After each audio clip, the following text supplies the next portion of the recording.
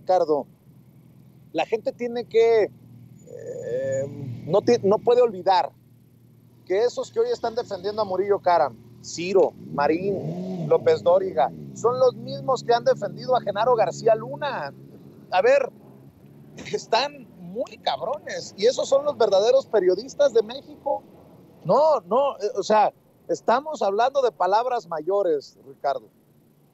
Sí, estos mismos personajes son los que han cerrado los ojos ante eh, los grupos criminales en otros, en otros lugares. Son los que cierran los ojos ante las estructuras delictivas. Las estructuras delictivas no solamente están en el crimen organizado, también están en los medios de comunicación. Sí, hay una cooperación de parte de estos personajes eh, donde ya no hay ética periodística y todo se dio al dinero. Hay la, eh, la participación de estos sujetos en la confección de una narrativa teatralizada, de una narrativa a modo, y la presentan de manera vehemente y de manera repetitiva en los medios de comunicación. Si una persona, un alguien de la audiencia de Sin Censura va y toma un periódico, entra a un portal de Excelsior, del Universal, del Financiero, del Reforma, se va a dar cuenta que operan bajo la misma narrativa, es el mismo esquema, hay dos o tres tópicos y los, los empiezan a, a, a, este, a, elevar en la narrativa, los comparten en redes sociales, los comparten, incluso hay momentos en que todos son exactamente igual, por eso se habla de, de del nado sincronizado. Hay una estrategia de parte de los medios de comunicación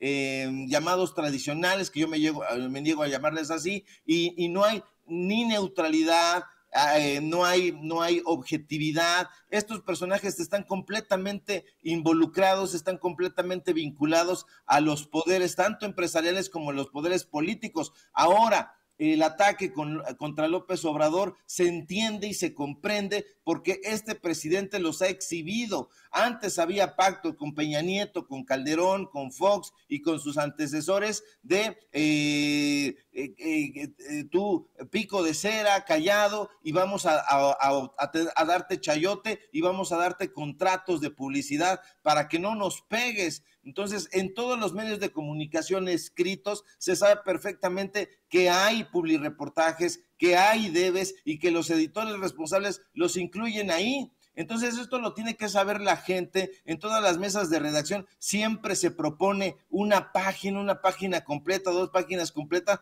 para apoyar al candidato en turno. Y eso la gente lo, tiene que saber. Yo creo que ya lo sabe porque se lo hemos dado a conocer. Entonces la revista Proceso, esta muchacha que va allá y hace estas preguntas beligerantes donde da primero toda un, un una serie de exposiciones que más se parecen a un enfrentamiento, un confrontamiento con el presidente López Obrador, ya están cundiendo. ¿Por qué? Pues porque sus jefes le están diciendo, la línea es esta. Eh, no es, insisto, que Enrique Peñanito se haya sentado con Murillo Caram a redactar. Eso es estúpido, Carlos Marín. Así no funcionan las cosas, pero sí funcionan cuando el presidente en ese momento quería resultados y el procurador dice, estoy cansado, entonces, ¿qué voy a hacer? Adherirme a esta narrativa que se construyó a partir de tortura a dos personajes, dos personajes que eh, tenían la versión, les llegó de una tiendita, por eso lean público memorioso este informe de, de la Comisión para la Verdad y Acceso a la Justicia del caso Ayotzinapa.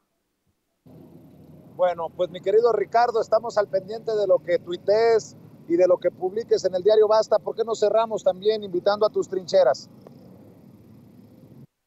Memorioso, síganme por favor en Twitter, arroba Sevilla Crítico, en Facebook, Ricardo Sevilla, así nada más. Síganme por favor en el diario Basta. Hoy publicamos ah, en un momento, ya la compartimos en, en redes sociales. Síganme por favor en, eh, Ricardo Sevilla, los datos duros. Hoy tenemos informativo en punto de las ocho y media. Y por supuesto, aquí en la familia sin censura, donde los medios de comunicación corporativos pues no quieren que se asomen precisamente porque nosotros damos eh, la información y decimos las verdades aunque les duela, sin eufemismos. Abrazo fuerte, querido Vicente. Nos encontramos por aquí el día de mañana.